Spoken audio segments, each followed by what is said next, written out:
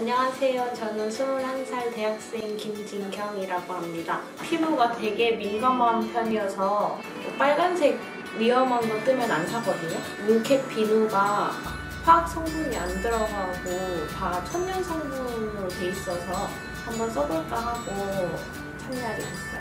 화장품 살 때 패키지도 되게 많이 보잖아요. 엄청 예뻐요.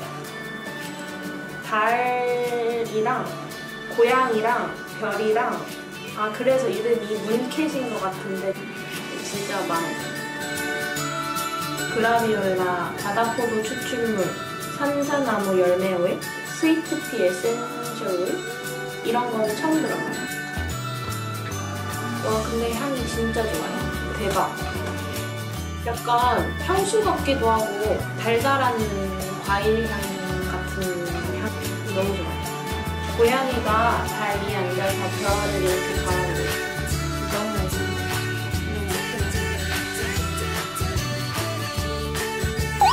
거품이 진짜 많이 나요.